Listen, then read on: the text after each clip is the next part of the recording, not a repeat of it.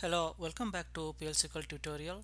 In this tutorial, we are going to discuss about visibility of package. So essentially visibility rules of package. Okay, so this is the package we have created in our last class, last video, where package name is demo package. We have two function and one procedure, and inside this package body we define those functions and procedures. All right so what you are seeing here is a subset of what we can do. So what I'm going to show you here in this in this video what kind of functions what kind of procedures what kind of constants what kind of variable that we can we can have in package and what we can do with those variables and what we cannot do with those variables. So you know these things are very intuitive and you can just figure it out yourself. But what I'm going to do I'm going to summarize those intu intuitions in one video. Alright. So this is what I'm a more generic package is going to look like. What I'm saying is I have a package named xyz I have a variable x number which is assigned to 10 what this is called this is called a global variable. So global package variable. And then what I have seen I just shown that I have a function f1 I have procedure p1 p2 so don't worry about syntax. I just want to give you a concept here and not worried about syntax. So what I have said in my package xyz specification that I have a global variable x which is called packaged variable and I am going to have implementation of one function f1 and two procedure p1 and p2 then inside the package body I have defined another variable. And this variable is called private variable.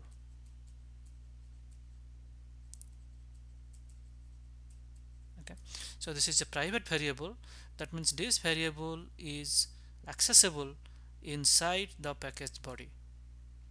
Then what I have defined here I've defined function f1 here. So what this function f1 here is basically a public function.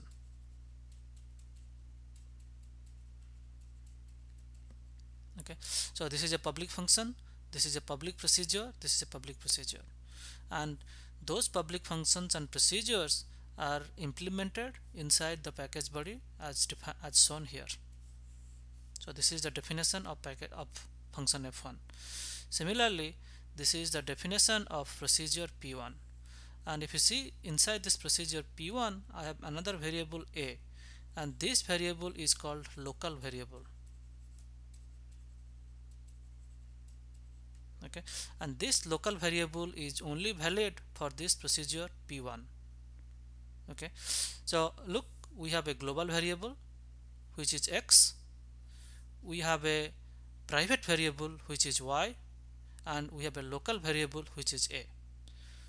X is accessible inside this package body and outside this package body whereas y is only accessible inside this package body whereas a is only accessible inside this procedure.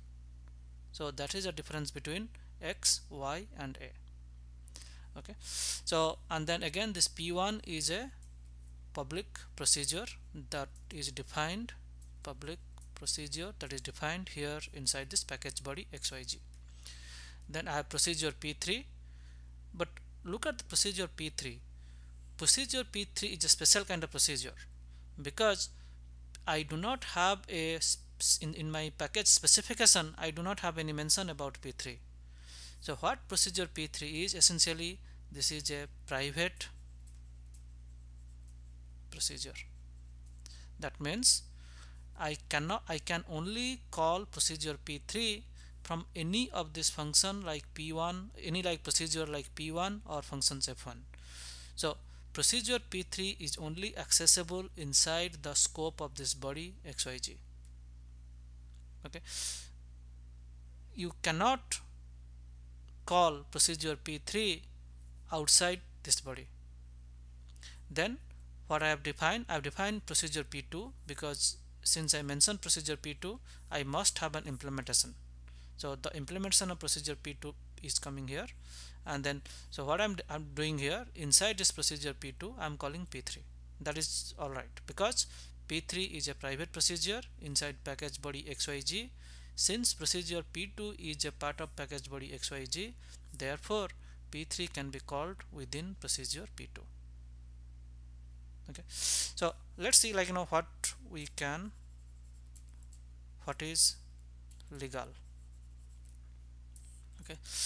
You can call this function this uh, global variable outside the package. That means you go to your SQL prompt and what you can do you can write a anonymous block begin and then what you can do you can do dbms output put line and then you just call this method uh, this uh, variable like xyz dot x. Okay. So and then end. So what is going to happen? This anonymous block is going to print 10 because since x is a global x is a packaged variable I can access outside the package. However I cannot do xyz dot y. Because y is a is a private variable which is defined inside the package body. It can only be accessed in any of this function f1 or procedure p1 p3 or p2 therefore that is not allowed. Okay.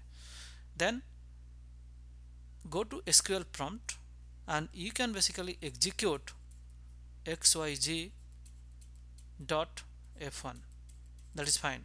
Because f1 is a public function and then you can execute in SQL prompt by this by calling the package name dot function name.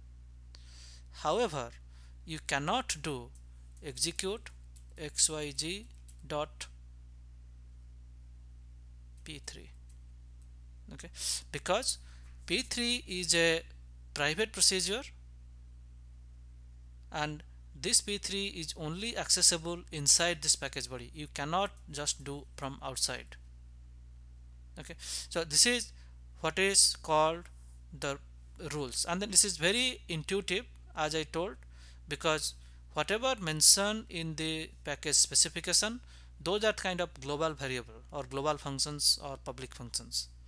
Whatever is inside those things are private and those things can be only accessible inside the uh, you know package body.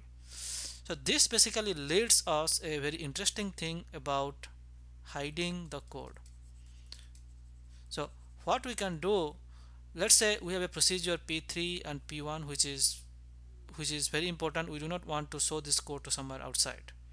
What you can do you can create this procedure p1 p3 as private procedure. That means you do not have to declare those things inside this create package. And then you can create a wrapper function or wrapper procedure from which you can from, from where from where you can call this procedure. Right so therefore like you know even say for example you like you know you say for, another use case is that say p1 and p3 might change. If those things might change then create those things as a private procedure or private function and then call from something else. And because these are the function these are the procedure you are going to expose to outside world. That means the number of parameters or all the data type cannot be changed. Like once you make those things those things are fixed and other people like you know in, in like in this anonymous block i'm going to call so I don't want to go on and change this thing uh, often.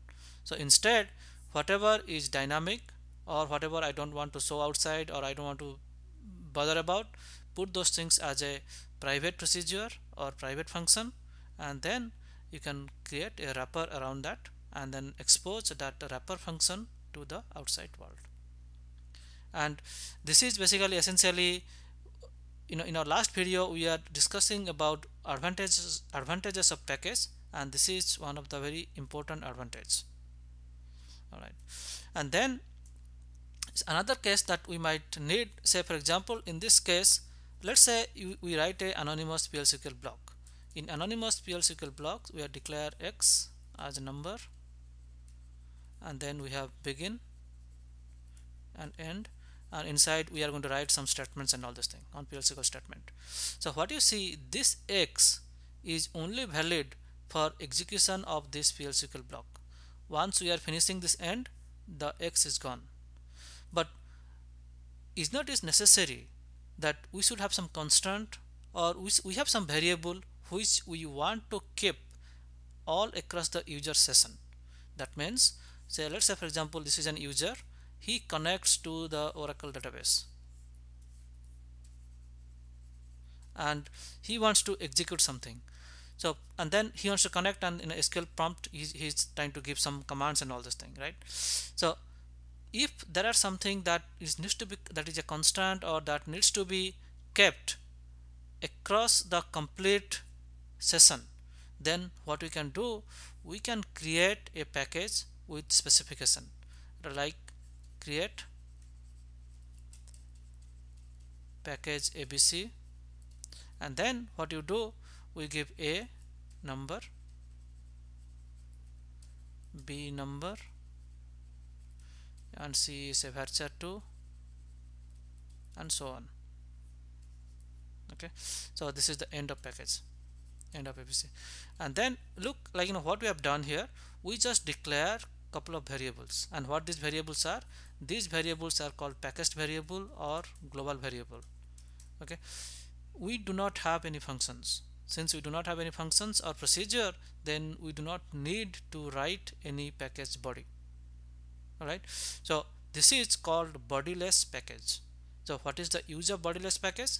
The use of bodiless package is whenever we want to create a variable and we want to make that variable persist across the complete user session then let's create a package spec with couple of mm, variable and whenever you access first time that variable all these things are loaded to your UGA user global area area of your uh, uh, user session. Okay? And then that is kept. You know those things are kept and then those things can be accessible or can be also modified in that user session. So that is why we need a special kind of package where we just have only the spec nobody.